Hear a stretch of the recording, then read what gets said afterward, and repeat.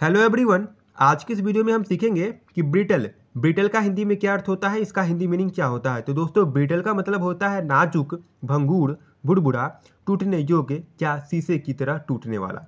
दोस्तों, मैं दोबारा रिपीट कर देता हूँ कि ब्रिटल का मतलब होता है कोई भी चीज़ जो ऐसा बहुत जो नाजुक हो, भंगूर हो, बुड़बुड़ा, यानी टूटने योग्य हो या शीशे की तरह टूटने वाला हो। अब मान लीजिए मैं इंग्लिश में कहना हो, अंग्रेज़ी में कहना हो कि पेंट उम्र के साथ टूटने योग्य हो गया था। तो हम कहेंगे the paint was brittle with age.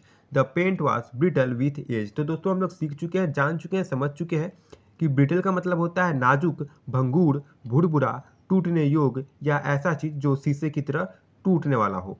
तो इसी तरह के डेली नए नए वर्ड सीखने के लिए जाने के लिए अभी लाइक और सब्सक्राइब करें हमारे इस चैनल को ताकि आप यहाँ डेली नए नए इंटरेस्टिंग वर्ड हमेशा सीख सकें, क्योंकि हमारे चैनल पर प्रतिदिन नए नए इंग्लिश वर्ड से रिलेटेड वीडियोस अपलोड किए जा रहे हैं, जिसे देखे और सीख के आप अपने अंग्रेज़ी को और बेहतर से बेहतर बना सकते हैं। तो दोस्तों, आज की इस वीडियो को देखने के लिए आपका बहुत बहुत धन्यवाद।